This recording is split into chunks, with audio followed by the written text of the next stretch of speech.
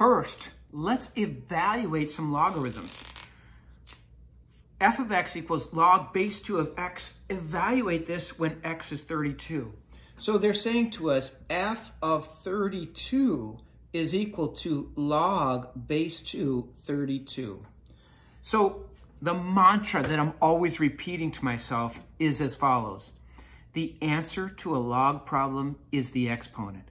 The answer to the log problem is the exponent. The answer to the log problem is the exponent. So I'm asking myself, 2 to what power gives us 32?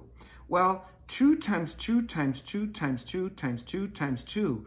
Here is 4, times 2 more is 8, times 2 is 16, times 2 is 32. A string of five twos together, which of course we know is 2 to the fifth power, gives us 32.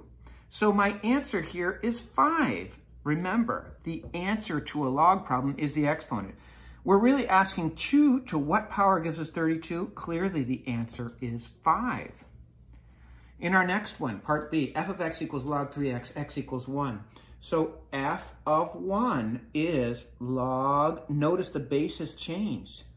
I'm asking myself, what exponent on base 3 gives us 1? In other words, that my little ditty always works for a log problem. And my ditty is this. The answer to a log problem is the exponent. 3 to what power gives us 1? The answer to a log problem is the exponent. Well, I know from past study that a to the 0 is 1. In other words, any base to the 0 is 1. So my answer here is 0 because 3 to the 0 gives us 1. The answer to a log problem is the exponent. In our next problem, I'm asked to find f of 2 for log base 4 of x. Well, I'll put a 2 in here. I'm asking 4 to what power gives us 2? Well, I know the square root of 4 is 2, and I've got to transcribe this into a fractional exponent. Well, this implies that this is 4 to the 1, and the index here is 2. So this is 4 to the 1 half equals 2.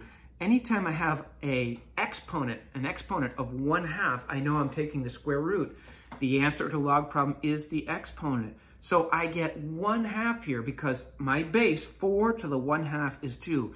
The answer to a log problem is the exponent. And way down here, I'm asked to find f of 1 over 100 of log base 10 of x.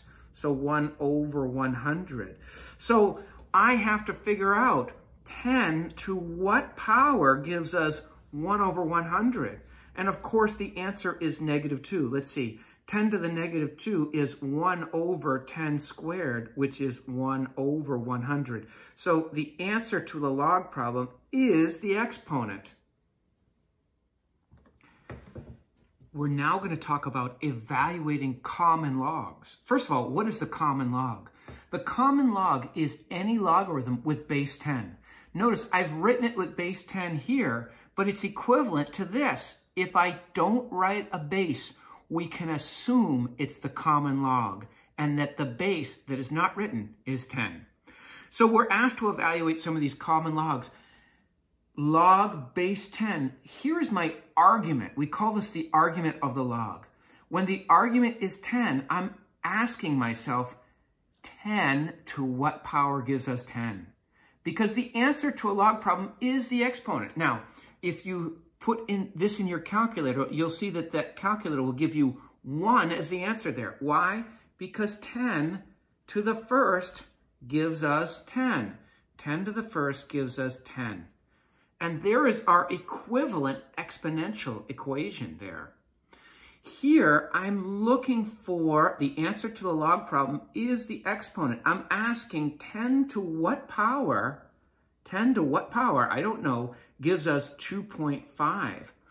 Well, I know that I can use my calculator to do this. And when I do that, I'm gonna have to open up this box, I get 0.39794. It's gonna give me a long decimal answer. Sometimes they're not as easy as being, uh, and allow me to do them in my head, so I have to go to the calculator. log base 10 of negative 2. I'm asking myself, 10 to what power gives us negative 2? And you will see, if we're looking at 10 to the power of x, we know that that is an exponential growth equation and will never intersect this value of negative 2. Remember, we had a y equals 0 horizontal asymptote there. So this will give us an error message on our calculator because there is no number that will give us a negative argument. The arguments for logs are always positive, and we're going to see that when we look at the graphs of log equations.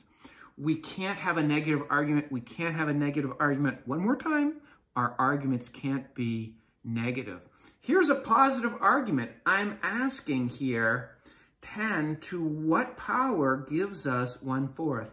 10 to what power gives us 1 fourth? Because my argument is positive, I can find that. When I do this in my calculator, I'm going to get negative 0.60206. Now my exponent can be negative. It's the argument that cannot be negative. We've got to be careful.